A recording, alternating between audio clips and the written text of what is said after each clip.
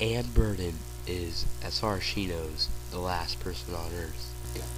There's no one left, I know, because after the war ended, all the phones went dead. My family went to see what happened. They never came back. But one day, all of her thoughts of being the last one on Earth disappeared. Someone's coming, that is. I think someone's coming. I pray that I'm wrong. I'm John Loomis. He says he's contracted radiation poisoning. You have a temp of 104. I wasn't surprised.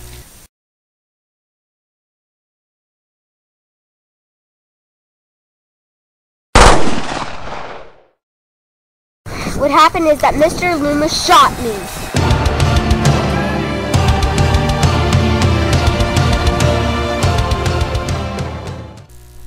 The people who didn't bring you Last Man on Earth movies such as I Am Legend.